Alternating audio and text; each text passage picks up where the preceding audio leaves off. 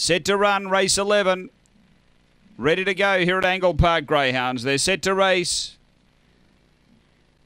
And away, good speed, vintage bling down near the inside, headed off by Crazy Again, who runs to the front. So Crazy Again clear over vintage bling, uh, Spring Lisa. Next, Justice Dusty behind those, Alan Jono. Uh, next is Hayride Rampy, Chevy Tron, and White Nike up to the turn. Crazy Again's got a good lead, straight and clear of Spring Lisa and vintage bling, and Crazy Again. The favourite gets home. Crazy Again first, Spring Lisa second, then vintage bling from Justice Dusty. Uh, next is Alan Jono. Then came Hayride Rampy, Chevy Tron, and White Nike back at the tail. The runners around 22 and 40.